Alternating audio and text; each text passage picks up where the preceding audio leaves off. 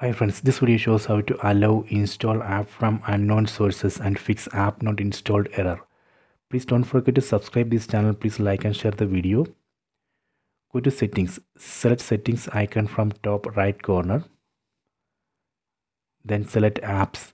In some TV model, we have to go to device preferences. There we would be able to find apps. Let me go to apps here. Select security and restrictions set unknown sources. Here you can see list of apps.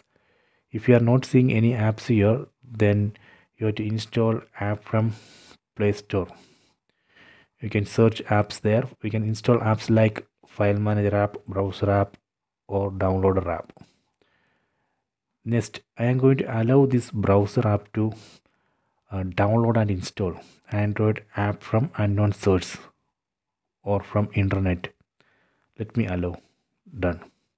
Similarly we can allow this file manager app or downloader app or send files to tv app. So this way we can allow uh, these apps to install android app app from unknown source and fix app not installed error. Let me go back. So we have to disable this option verify apps. Otherwise we would get warning or error message when we try to install uh, from unknown source. So these are the two settings which we need to configure. So i hope you have enjoyed this video. Please check it